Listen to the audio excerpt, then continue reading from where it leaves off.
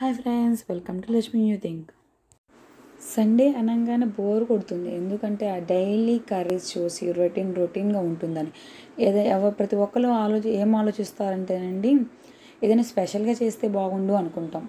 అలాగే ఈరోజు నేను సండే స్పెషల్గా వెజిటేబుల్ ఫ్రైడ్ రైస్ చేసి చూపిస్తున్నానండి. చూడండి. అలాగే వెజిటేబుల్ ఫ్రైడ్ రైస్ అనగానే మనకి ఏం గుర్తుకొస్తుంది? వెజిటేబుల్ ఫ్రైడ్ రైస్ అంటే చాలా హెల్తీ హెల్త్. అలాగే మన టేస్ట్ కూడా చాలా చాలా బాగుంటుందండి. కిడ్స్ కూడా లైక్ చేస్తూ ఉంటారు. వెజిటేబుల్ అంటే లైక్ అన్ని రకాల కలర్ఫుల్గా కనబడుతుంది కాబట్టి మనకి చాలా బాగుంటుంది చూడడానికి కూడా. కొంతమందికి డౌట్ రావచ్చు దీంట్లో మసాలా ఉంది కదా అంత హెల్త్కి మంచిది కాదు కదా అనుకుంటున్నారా? డైలీ మనం మసాలా యాడ్ చేయగానే ఎప్పుడో సమ్టైమ్స్ యాడ్ చేస్తాం అంతే కదా. దీంట్లో మన అలాంటప్పుడు మీరు మసాలా లైక్ చేయని వాళ్ళు లైట్గా కొంచెం క్వాంటిటీ మాత్రమే తీసుకోండి. అప్పుడు వాళ్ళకి హెల్త్కి హెల్త్ ఇది కూడా మీకు చాలా టేస్ట్ కూడా కూడా తిన్నట్టుగా ఉంటుందన్నమాట. వాళ్ళు సాటిస్ఫైడ్ అవ్వడానికి కాదు మేము లైక్ ఎక్కువ మసాలా తింటాము అనుకుంటే దట్స్ అవర్ చాయిస్ అనమాట ఓకే లైక్ ఇప్పుడు నేనైతే తయారు చేస్తున్నాను చూడండి. ఫ్రైడ్ రైస్కి కావాల కావాల్సిన ఇంగ్రీడియంట్స్ అన్నీ చూపిస్తున్నాను చూడండి. ఆనియన్స్ క్యారెట్ బీన్స్ క్యాప్సికమ్ బంగాళదుంప లైక్ టొమాటో అండ్ ఆనియన్స్. ఇవేమో మసాలా దినుసులు అండి. మసాలా దినుసులు ప్యాకెట్ ఉంటుంది కదండి. అవి అయితే మీకు ఈజీగా అర్థమవుతుంది. ఇంగ్రీడియంట్స్ అన్నీ ఉందా? ఆయిల్ గీ కరివేపాకు కొత్తిమీర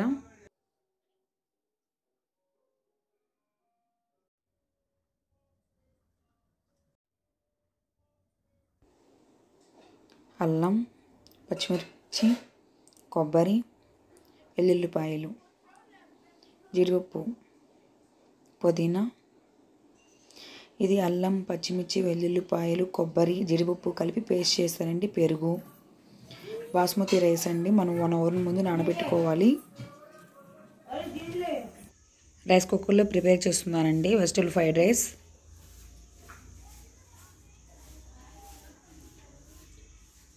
ఒక టేబుల్ స్పూన్ గీ యాడ్ చేసుకున్నాను. Two tablespoon oil add చేశాను.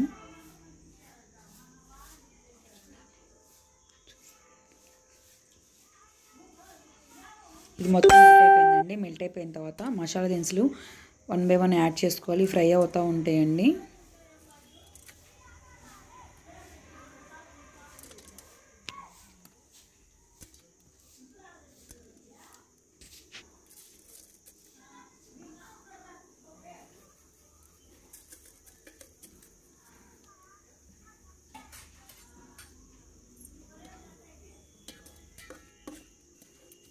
ఇది మొత్తం కలుపుకొని ఫ్రై చేసుకుంటూ ఉండాలి.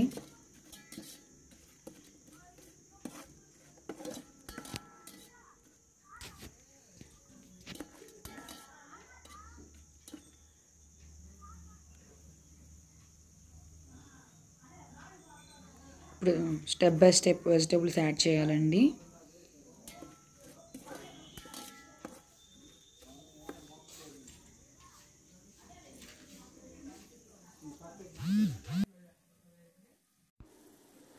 ఫస్ట్ నేను ఆనియన్స్ యాడ్ చేస్తున్నా అండి. ఇలా లైట్గా ఫ్రై అయిన తర్వాత టొమాటో యాడ్ చేసుకుంటున్నాను.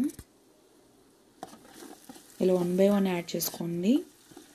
ఇలా లైట్ ఇలా కొంచెం ఫ్రై అవుతున్నప్పుడు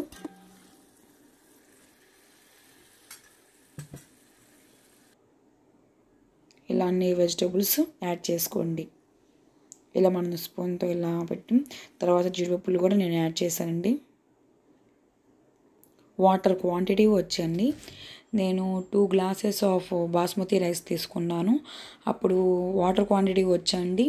గ్లాస్కి గ్లాసున్నర వాటర్ తీసుకోవాలండి. మరి మామూలు రైస్కి అయితే గ్లాస్కి గ్లాస్కి వచ్చి టూ గ్లాసెస్ ఆఫ్ వాటర్ తీసుకుంటాం కదండి. బట్ దీనికి వచ్చి మనం బిర్యానీ ఏమైనా చేస్తున్నాము అంటే వాటికైతే అండి గ్లాస్కి గ్లాస్ ఆఫ్ వాటర్ తీసుకోవాలండి. ఇలా యాడ్ చేయాలండి. కొత్తిమీర పుదీనా యాడ్ చేసుకోవాలి. సాల్ట్ కూడా యాడ్ చేసుకొని మన టేస్ట్ సరిపోయిందా లేదా చూసుకోవాలండి. ఇలా వాటర్ బాయిల్ అవుతున్నప్పుడు మనం బాస్మతి రైస్ని యాడ్ చేయాలండి.